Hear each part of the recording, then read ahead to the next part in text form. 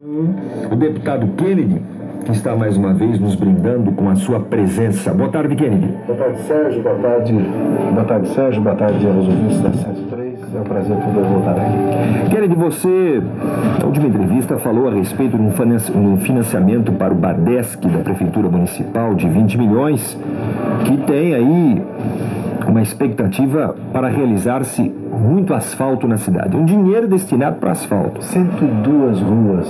Até agora, nem 101, nem 110, nem duas, nenhuma. Poderia, poderiam ser 103, né? Bom, Sérgio, Seria bacana para a rádio. Eu, no, no ano passado, em fevereiro do ano passado, eu levei o prefeito Udo Deller no Badesc. Ele foi o primeiro prefeito a conversar com a presidência do Badesc para ter acesso a um financiamento a, a, sem juros, né, juros zero, com 18 meses para começar a pagar, de 20 milhões de reais que seria utilizado para asfalto em Joinville.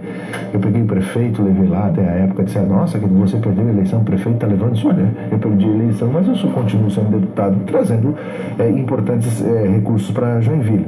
Levei lá, o que, aconteceu? Quando eu li a matéria, a entrevista que o prefeito dele deu esse final final de semana para o Jornal da Cidade, uh, eu fiquei muito preocupado porque ele disse que o Badesc não tinha liberado ainda o recurso. E como eu sei que esse ano é um ano eleitoral, se não liberou até agora, isso vai ficar só para o ano que vem. Aí eu li, conforme que eu li na entrevista do prefeito Uda, eu fui na jugular do, do Badesc. Cheguei segunda-feira no Badesc e, e, chutei a porta, né? Deputado de Joinville. Eu trouxe o cara um ano e pouco atrás aqui. Por que, que não liberaram? Rapaz, falei com a Evelise. Passei tanta vergonha. É o Evelise Laís, que é a nossa companheira Não, aqui de rádio. excelente voz, que diz por passagem. Falei com ela e passei vergonha. Da maneira como ela foi me mostrando, o valentão que chegou lá para para cobrar o dinheiro de Joinville começou a baixar a, a orelha e no final a minha vontade era me enfiar debaixo da mesa dela de tanta vergonha que eu passei. Por quê? porque eu cheguei com o mesmo ímpeto que o prefeito deu a entrevista, eu cheguei lá batendo na mesa e cobrando, como é que é? Vai sair? O que que deu, o que não deu? Aí ela Já um ano passou e até agora o dinheiro não chegou? Tá aqui, ó. A Secretaria Nacional do Tesouro tem que emitir a licença para o financiamento. Essas licenças são emitidas através de quatro negativas. Duas têm validade de seis meses, uma de 60 dias e uma de 30 dias. O município até agora desde fevereiro do ano passado, não conseguiu vencer essa etapa de apresentar as certidões para que o Secretaria Nacional do Tesouro possa autorizar o financiamento. Uhum. Aí eu disse, tá, mas como é que Isso foi? é governo federal. Não, o... governo municipal. Pois é, mas... Emite as certidões para o governo federal. Federal, exatamente. Então, o governo estadual é intermediário. Não, ele... Tem uma autorização lá de Brasília, se não tiver, o governo do estado, o Badesc, não, não, pode, emprestar. Dinheiro. Essas autorizações, ou essa autorização, vem só a partir do momento das certidões. Certo. Para dizer, ó, estou em dia com o INSS, estou em dia com o Fundo de Garantia, estou em dia, estou em dia, a, a prefeitura está em dia. Uhum. Não consegue colocar isso. Segundo, ela disse: se hoje, isso foi segunda-feira, se hoje a Secretaria Nacional do Tesouro ligar para nós e deu, está liberado, eu não posso, Badesc não pode liberar a licitação, porque o projeto que a prefeitura encaminhou das 102 ruas para fazer o recapeamento, Sérgio, não é asfalto novo Asfalto não precisa de base, subbase, drenagem, meio-fio e calçada. Estou falando de recapeamento. É colocar asfalto em cima onde já tem. Recuperar o asfalto existente. Recuperar. O projeto que a prefeitura enviou estava cheio de falhas. Foi pedido readequação no ano passado e até hoje as readequações não chegaram lá. Não foi feita a, correção daquilo que estava, segundo o Badesque, errado. Extremamente envergonhado por quê? Porque eu cheguei lá para cobrar e eu fui ver que a incompetência, seja no, na Secretaria do Tesouro Nacional, como agora com relação aos projetos aqui enviados, é daqui, é do governo municipal. Então eu não aceito que o prefeito venha em público colocar a culpa como a síndrome do Adão e Eva. Adão, onde é que tu tá? Tô escondido, Senhor. Por quê? A Eva me enganou. Aí Deus chega para Eva, o que tu fez, Eva? Ah, Senhor, a cobra me enganou, a serpente me enganou. A serpente, que não tinha boca para falar, pagou o pato. O que, que eu vejo hoje? Eu vejo o prefeito, o povo cobrando, Ô prefeito, cadê a obra? Ah, é o Badesc. Aí o Badesc diz, não, não é nós não. É a Secretaria Nacional do Tesouro e é vocês aí que não sabem fazer. Quem está pagando o pato? Nós. O povo que está andando com rua esburacada, que não tem manutenção. Agora, o que, que eu venho aqui? Eu já venho tratando desse assunto há muito tempo. Eu consigo falar com a presidente Dilma e eu não falo com Bertolini, o secretário que é o responsável Miguel Bertolini. por essa área. Não consigo.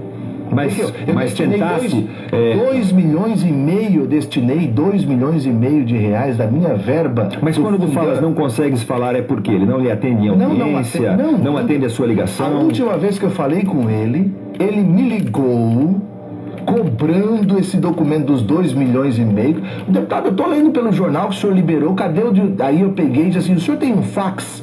Eu vou lhe enviar o fax agora, de um documento que eu mandei há 60 dias atrás. Então ninguém consegue falar. E o que, que acontece? O governo está parado, paralisado. Nós estamos vivendo um momento de greve agora aqui, né, onde a prefeitura não consegue sentar com o servidor. Por que, que os, as- os funcionários da Companhia Águas de Joinville recebem três vezes quase o valor do vale alimentação do funcionário eh, da, da prefeitura? Se o, eu tenho dito, falei ontem na tribuna, se para o prefeito ele não está nem aí para o salário dele, o servidor público é questão de vida ou morte. Se o prefeito não recebe o salário, ou doa o salário, ou não está por aí, o servidor público precisa receber. Mas aí, querido, você falou em vida e morte, né? Eu quero lhe fazer uma ponderação.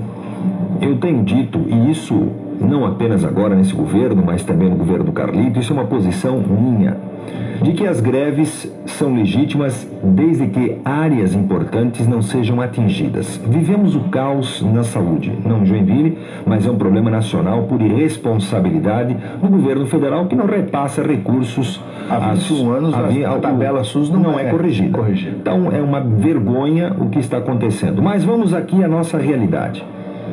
A Prefeitura Municipal de Joinville hoje nos informa, e eu tenho aqui a comunicação grave, por sinal, de que cirurgias foram canceladas no Hospital Municipal São José. 25.